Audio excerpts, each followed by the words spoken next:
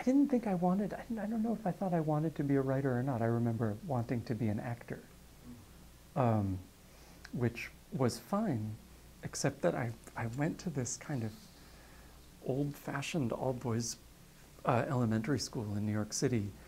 And the theater program there, in the tradition of all boys schools, you know, from time immemorial, would put on these plays with boys cast in the male and female roles. And they turned out to be just these like humiliating fiascos.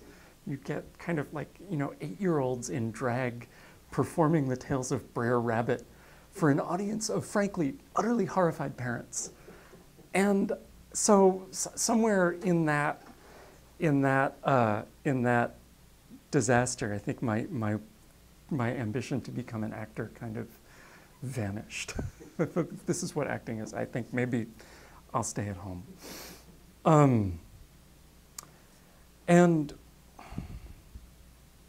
I didn't write. I didn't write continuously, you know, at all. Um, I'd write a story here. I'd write a story there.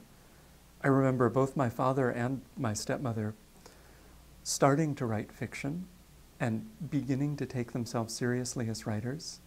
I remember them conferring about their writing. They would show each other their work and have these conferences, and I felt, you know, very uh, not excluded, but I felt a little like, oh, I, I want in on this.